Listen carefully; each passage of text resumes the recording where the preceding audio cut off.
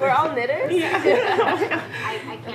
We're all knitters under 40. Oh my god. So close. Yeah. They're gonna be watching this, being like, "Oh my god, that's so, So cool. cool.